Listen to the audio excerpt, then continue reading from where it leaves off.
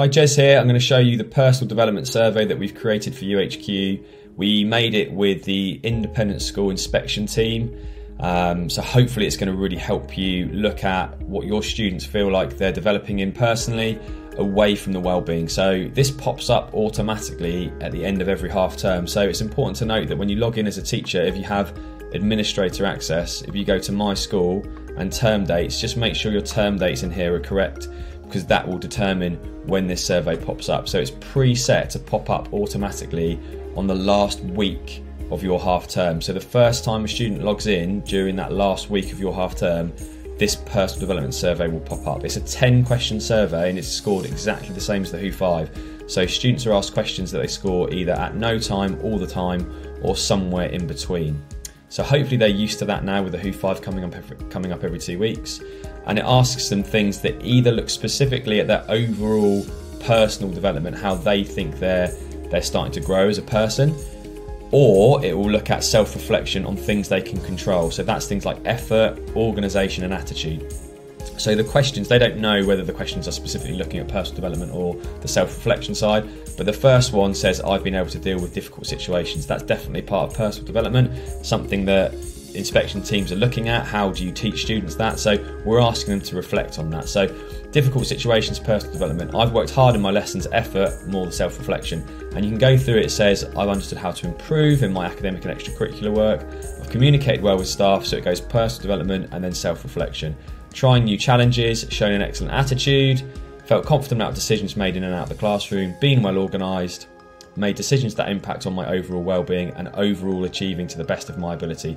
So it, it goes, it alternates from one to the other. They fill those out as accurately as they can. They always have the chance to rather not say, although we encourage students to try and get involved and be open, and then they submit that.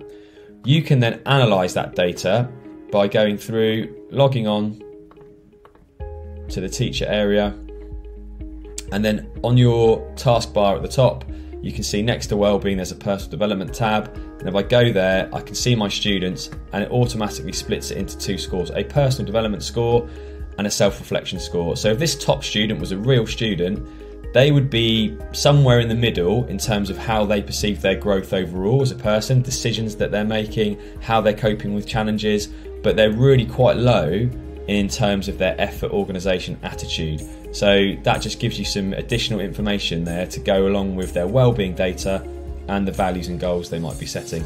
We're hoping this is going to help you just get to know that individual student a little bit better. It might help you write your reports as well, especially if they're reflecting on effort, organisation, and attitude. And if you look at the survey results, you can see the answers that they're giving. So if this student has said at no time, then they've not communicated with staff well at all, then they're saying they don't think they communicate well with staff. And then you or someone at the school might be able to help that student improve their communication with staff. Okay, so that's the idea here. Um, I'll click off that. Just a couple of other bits. You can check in with the student just like you can on the wellbeing area if you're checking in specifically on their personal development. You can filter by personal development scores, so it brings the top scores up to the top and then you can go back and filter by alphabetical order or you can just look at specific classes just like you can with wellbeing so you can start filtering this data through. Hopefully that helps. If you've got any questions, then pop over to our website, go to Let's Chat, or if you have our email addresses, just ping us an email.